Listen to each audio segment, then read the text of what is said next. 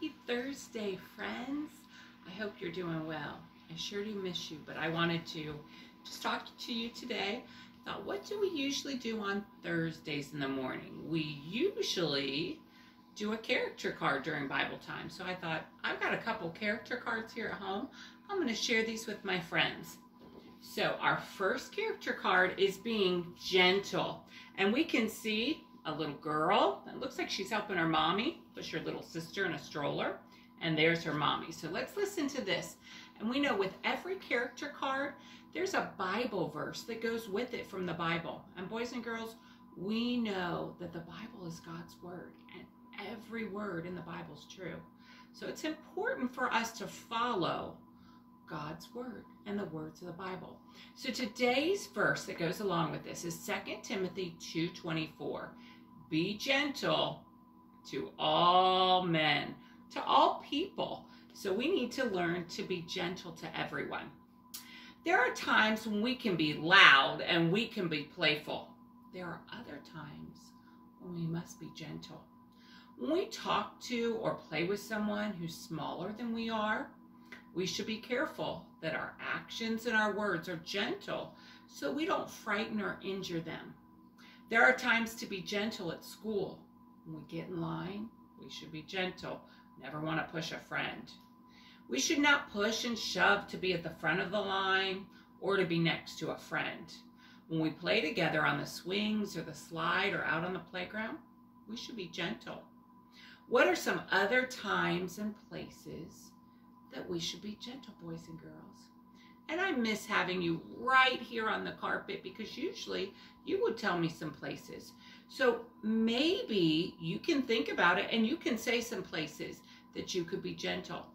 I'm thinking about what about being gentle with our pets? You know, a lot of us have kitty cats. I know London has a kitty cat at home. Nora has a kitty. We want to be gentle with our pets. What about when we're helping mommy? Maybe mommy or daddy asks us to set the table. We even have some breakable things we have to carry, like some plates or some glasses or some cups. We need to be gentle with those things. Boys and girls, I'm thinking of all of our friends that have little brothers and sisters. I'm thinking about Claire. She has Ellie and Eli. She has two. She's got twins. I know that she plays very gently with them. And Trevor has a little sister, Emmeline. And Logan, I'm thinking about all the fun times you say and things you do with William. I'm thinking of Jacob and his little brother, and I know that Jacob's a good example to his little brother.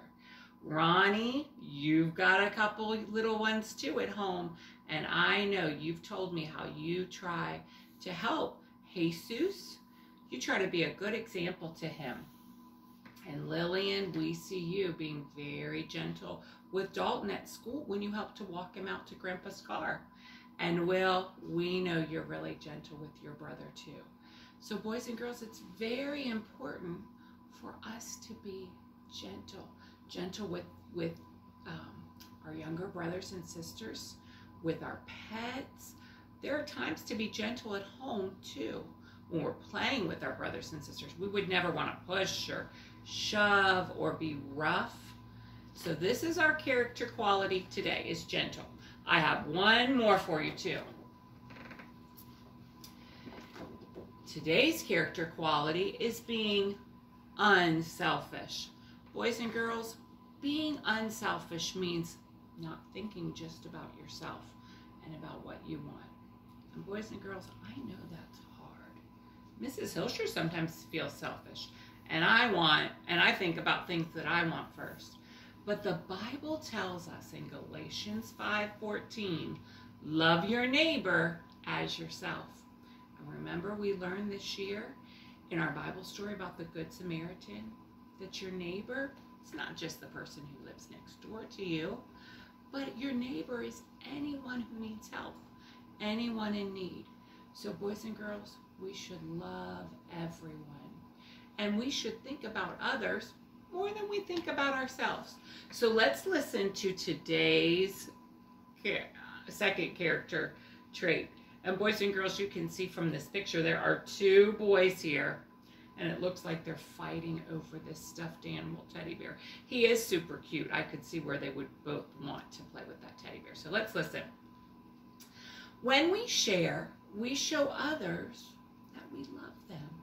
We've talked a lot about that at school. When my friends share the markers, the crayons, sometimes I see my friends give up the crayon that they want to color with. Maybe they want to color with a special blue one and someone else wants it. And they share it. Do you know you're showing others that you love God and you love them when you're doing that? Would it be right for Jim to always have the toy and not to share it with John?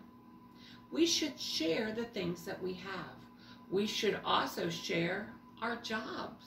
Yeah, our jobs. Would it be right for John to always have, have to set the table while Jim plays? Or maybe for Jim to always have to take the trash out while his brother's watching TV? We need to share our jobs. Boys and girls, I'm thinking of friend of your brothers and sisters at home that you can share with. Maybe share a job with, maybe share your toys with. I'm thinking of Noble. Noble, when you and Nora are playing together, do you share? I know I've heard you talk about Nora and how you and Nora share your toys. How about you, Nora? You and Andrew. I know that you two are working together to share and be kind to each other. And Annabelle, what about Tyson? Hi, Tyson. Tyson was in my class a few um, years ago. Are you sharing? Are you helping him? Maybe you could help him do something. Um, what about Carly? Carly, you have two big sisters, Callie and Kendall, and I know that you do a great job. You girls work together. I bet you could work together to help mommy and daddy at home, setting the table or doing a chore. And Mr. Lincoln, what about you and Jay? You talk a lot about how you take turns when you play your video games you and Jay, I know you can take turns and have fun together. And then Hayden, I know those two big brothers of yours, Jackson and Kaysen, and I know you boys are having fun together, taking turns, sharing, and even sharing jobs together too. So boys and girls, today our Bible um, character card is being unselfish. That means thinking of others, maybe before you think about yourself. You guys do a great job on that. And I can't wait to hear how you're being kind and being unselfish and you're helping and working together at home with your brothers and sisters. All right, my friends, you've seen me get this out. This is our hymnal. So I thought today, sometimes there's a Bible story or not a Bible story, but there's a little story that goes along with our song that we sing. So this is one that we really, really like.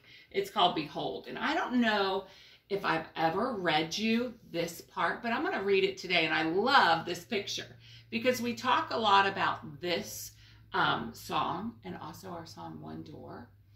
We talk about our hearts and how Jesus knocks on our heart's door does he really come and knock on our heart's door? No. But that knocking is maybe him just saying, let me into your heart. Come in, let me come into your heart. And boys and girls, we have the choice to open the door to Jesus or to keep it closed. So today I'm going to read this and then we'll sing the song together. That'll be fun. It says, Your body is your house. Deep inside is the special part that makes you who you are. Jesus wants to be with you deep inside so he can show you his love and teach you and take care of you. It's like he's knocking at the door of your house or your heart. He calls, Behold, and that word is just look and listen. When you hear him, you can open the door by asking Jesus to come and live in you. He promises that if you ask him to, he'll come in. And boys and girls, here's a picture of Jesus knocking on the door, and you can see that the door is on a heart. It even has windows there. All right, my friends, will you sing that with me? I'm just going to lay this down here. You have to get your door up. All right. And boys and girls, Mrs. Hilsher's sitting down, so I'm not going to step inside, but you can step inside when we get to that part, okay? You ready? Put your door up. Behold, behold, I stand at the door and knock, knock, knock. Behold, behold, I stand at the door and knock, knock, knock. If any boy hear my voice, if any girl hear my voice, and will open, open, open the door, I will come in. Good job, friends. That's great. Well, I'm going to say goodbye for now, but tune in later because today is a friend's birthday.